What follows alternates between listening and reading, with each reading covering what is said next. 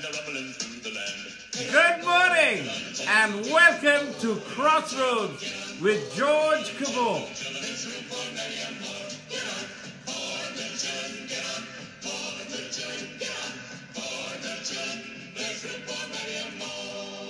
It's a dull, gray, cold winter morning. Hi, Jamie. Lovely to see you.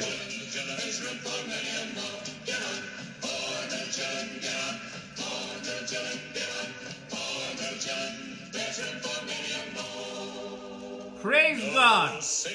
We have a loving Savior and a loving Lord. to follow on the line. Praise God. He is a loving Savior. You're forever lost if once you're left behind. Get on board. It's a wonderful morning, and I pray that the Lord will speak to you and to me. He will meet you and encourage you and bless you. The fare is cheap and all can go. Praise The God. rich and poor No second class aboard this train. No difference in the fare. Get on board, New Chillin. Get on board, New Chillin. Get on board, New Chillin. There's room for many more. Yes, there's room for many more.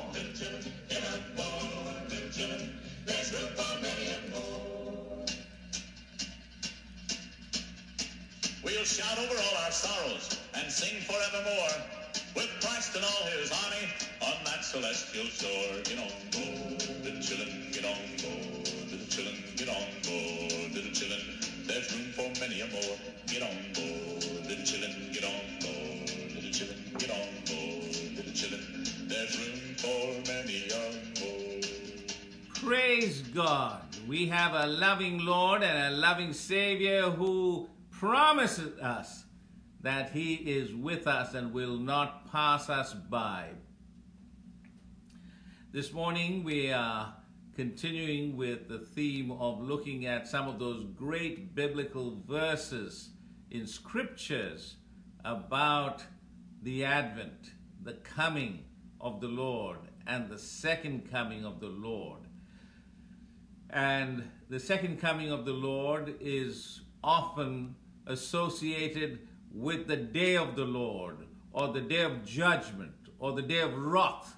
And so uh, we have to hold these different themes together in our Christian life. The first coming, a day of hope, a day of redemption. The second coming, the day of judgment, but also the day of victory, of truth over evil, good over evil. God reigns. Amen. Praise the Lord. The Lord reigns. Let's pray. Father, we thank you for this new day. We thank you that you love us and you care for us. May your presence and peace abide with us. Speak to us, dear Lord. Encourage us with your presence. May your Holy Spirit comfort us, equip us, and use us for your glory. And this morning, Lord, I pray that you would keep us very close to you. Guide and direct our steps, we pray.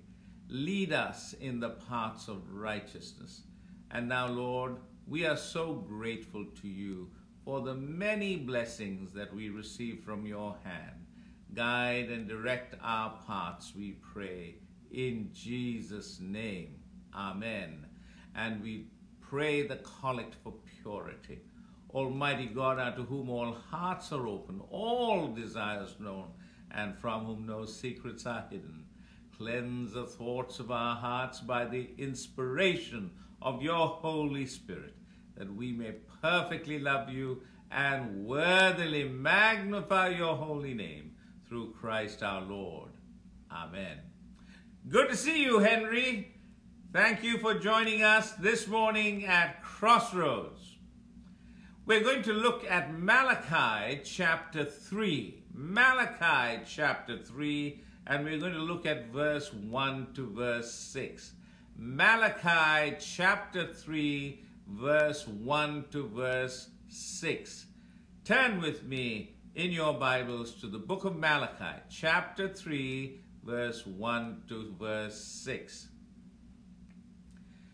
Thus saith the Lord, I will send my messenger who will prepare the way before me. Then suddenly the Lord you are seeking will come to his temple. The messenger of the covenant whom you desire will come, says the Lord God Almighty. But who can endure the day of his coming? Who can stand when he appears? For he will be like a refiner's fire or a launderer's soap. He will sit as a refiner and purify of silver. He will purify the Levites and refine them like gold and silver. Then the Lord will have men who will bring offerings in righteousness, and the offerings of Judah and Jerusalem will be acceptable to the Lord, as in days gone by, as in former years. So I will come to put you on trial. I will be quick to testify against sorcerers, adulterers, and perjurers, against those who defraud laborers of their wages, who oppress the widows and the fatherless, and deprive the foreigners amongst you of justice. But do not fear me, says the Lord Almighty. Praise the Lord. So, in our reading from Malachi this morning, hi Sarah and Todd, we are coming against one of those ancient prophecies concerning the Messiah. God is telling us that He will send someone who will prepare the way for the Lord. And we can see it being fulfilled through the ministry of John the Baptist, the baptizer, the one who pointed to Jesus and said, Prepare the way of the Lord. I'm a voice crying out in the wilderness, Prepare the way of the Lord. What a remarkable ministry John the Baptist had. And then the word of the Lord says, You will find and discover the Lord has come to his holy temple. The messenger of the covenant whom you desire will come, says the Lord. I am. And so this morning, I want to encourage you that God's word will always be fulfilled. When God intends something and he speaks it, his word bears fruit and comes back with fruits in them. God's words are never void. Praise the Lord. God's words are never void. They never come back empty. And so when the Lord has said, it will be done, God promised us his Son will come, and the Son came. Now he is talking about the return of the glorious Son. Let's look at verse 2 of Malachi chapter 3, verse 2. But who can endure the day of his coming? Who can stand when he appears? For he will be like a refiner's fire or a launderer's soap. You know, he's saying, I'm glad that you are prepared and waiting for the day of the Lord, but do you really understand what is going to happen? Jamasiki, Asha. And so, what is he saying to you and to me? He's saying, look, the day of the Lord is like no other day. It's going to be a terrifying day. It's going to be a glorious day. It's going to be a wonderful day, but it's going to be an awful day for those who violated God's word. Who can endure the day of his coming? Two things. How many of you are going to be patient and trust in the Lord till his return? How many of you can endure the challenges of waiting for the Lord's return? We are called to be vigilant. We are called to be alert. We are called to persevere and to trust in the Lord. And then he says, Who can stand when he appears? Who can stand when he appears? In other words, his appearance is going to be so awesome, so incredible, so glorious, so terrifying. Do you really think you can stand in the presence of the King of Kings and the Lord of Lords? Do you really think you can stand in the presence of the governor of the universe, a supreme master of the universe? Think carefully. Order your lives. Trust in the Lord. You know why? Because He will judge. He will evaluate. He will sit as a refiner and a purifier of silver. He will purify the Levites and refine them like gold and silver. Then the Lord will have men who will bring offerings in righteousness, and the offerings of Judah and Jerusalem will be acceptable to the Lord, as in days gone by, as in former days. You know, when the Lord comes, He's not only going to test, but He's going to refine. He's going to purify. If any of you understand what refining and purification means, it means just that. All the dross, all the impurities will be taken away. And that is a process, and it's a painful process. Are you ready to be refined? Are you ready to be purified by the living God? It's necessary, it's important, but you need to know that it'll be exacting. The Lord will purify. Just like a goldsmith or a silversmith puts the metal into the fire and it has to melt. It has to be purified. In the same way, each of us will have to be purified because God is holy. And to be in the presence of the holy God, each of us will have to be refined on the day of judgment. And so it's important for us to order our lives today, examine our lives today, and to live in the knowledge and the fear of the Lord.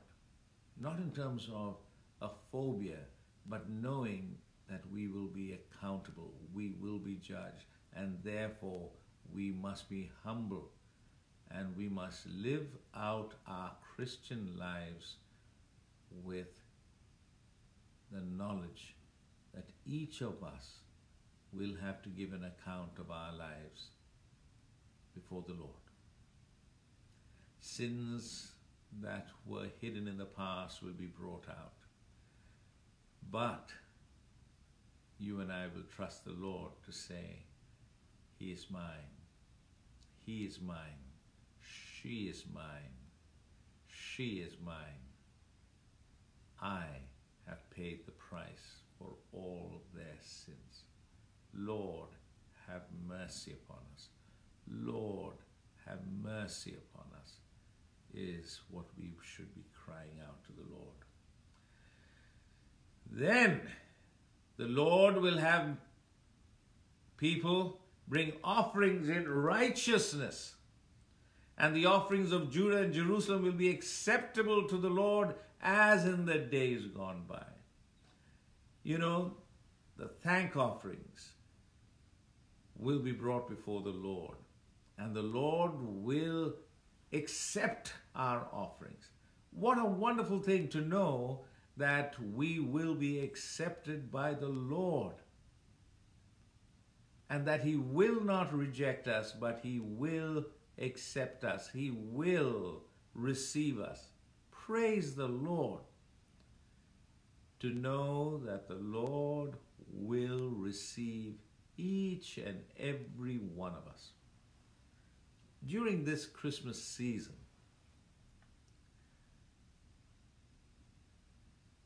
there will be much festivity. There will be much celebrations.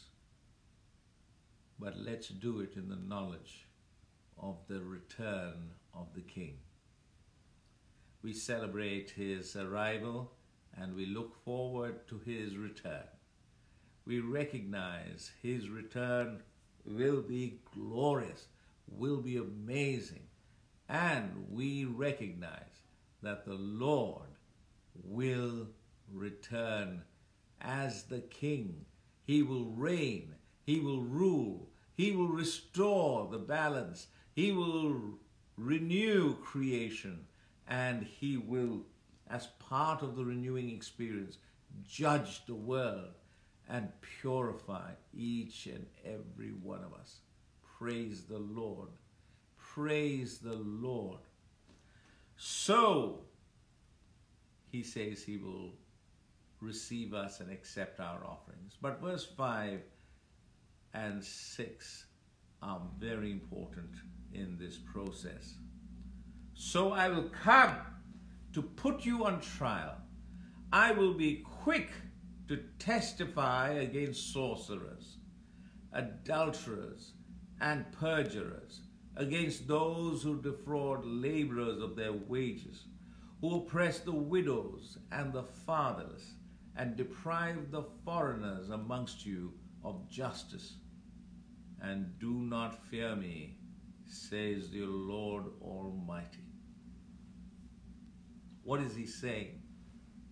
He says, When I come back, I will hold accountable all those who have violated my commands. I will come down hard on those who worship other gods, who trust in spirit mediums, who will put their faith in sorcery, magic, black arts. Such people will not be spared, says the Lord God Almighty. He speaks of adulterers, people who broke the covenant, people who are unfaithful in relationships. He will hold all such people accountable. Perjurers, liars, people who conceal the truth and act deceitfully, against those who defraud laborers. Don't give them their right wages. Who oppress the widows and the fatherless. Oppressing the underprivileged, oppressing the weak is something that the Lord will not tolerate. But then here's another one for those of us who live in a world that are suspicious of foreigners and deprive the foreigners amongst you of justice. The Lord stands by refugees, immigrants, foreigners. He says they have rights, and I will stand with them and for them. And I will be particularly hard on those who do not fear me, says the Lord God Almighty. You know, my brothers and sisters, the return of the King is going to be a glorious but dreadful day for those who will experience his judgment. Lord, have mercy on me, is our prayer. Forgive us, help us to live a righteous life. help us to live in the light of your knowledge, in the light of your wisdom. Spare us, O Lord. Purify cleanse us, that we might live a life that is holy and pleasing in your sight. You know, my brothers and sisters, we have a wonderful Lord who is going to come. We look forward to that. We look forward to the return of the King. Hi, Simon. And we are praying that he will not pass us by. As we prepare in this season of Advent, this season of joy, we remember that the Lord, when He returns, it will be a glorious day. It'll be a wonderful day where truth will reign, but we also recognize the terrifying day that it will be for the wicked. Protect us, Lord. Preserve us, Lord, and keep us close to you. I'm going to sing that wonderful song, Pass Me Not, O Gentle Savior.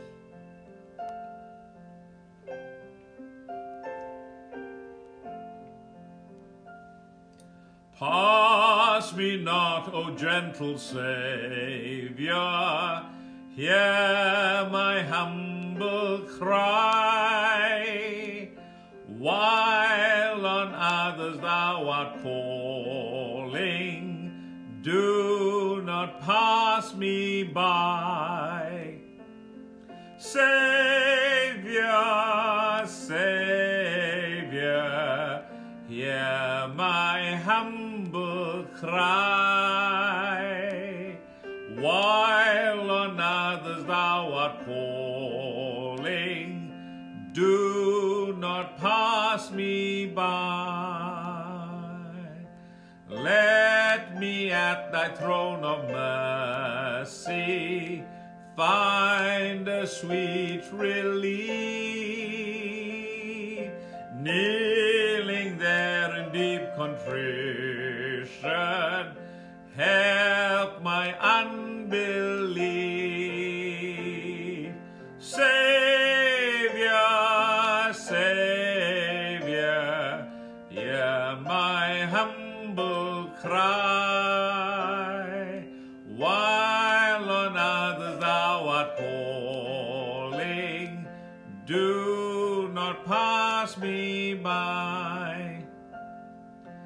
Trusting only in thy merit, would I seek thy face. Heal my wounded, broken spirit. Save me by thy grace. Savior, Savior,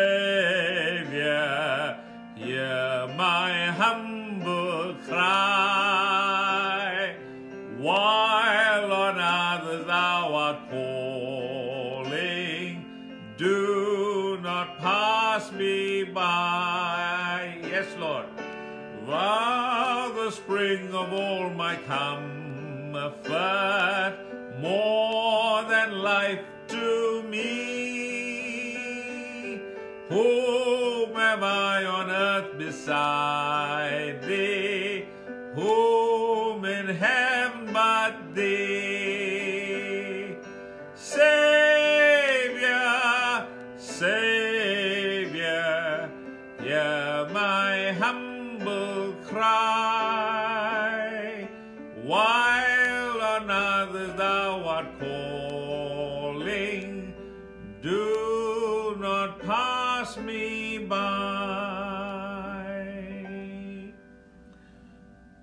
Lord, do not pass us by. Keep us close to you, Lord Jesus, and help us to live as you want us to live. Show mercy upon us, O Lord. Forgive us, O Lord. And come quickly, Lord, that we might live in your glorious truth, that we may live in your grace and mercy. Precious Lord, show mercy upon us. Pass me not, O gentle Savior. Keep me close to thee. As we come together in the name of the Lord, we pray the prayer that Jesus taught us to pray. Our Father who art in heaven, hallowed be thy name. Thy kingdom come, thy will be done on earth as it is in heaven. Give us this day our daily bread and forgive us our trespasses as we forgive those who trespass against us. And lead us not into temptation, but deliver us from evil. For thine is the kingdom, the power, and the glory, both now and forevermore. Amen. Thank you for joining me this morning at Crossroads. I pray that the Word of God would encourage, comfort, and strengthen you, keep you close to His self, live in a right relationship with the Lord Jesus, and you will flourish, said the Lord. And so this morning, I pray that the Lord will bless and encourage each and every one of you. The grace of the Lord Jesus Christ, the love of God, and the fellowship of the Holy Spirit rest and abide with each one of us now and forevermore. Amen. Come again tomorrow. In the meanwhile, be blessed, stay blessed, and become a blessing to someone you know today. Bye bye.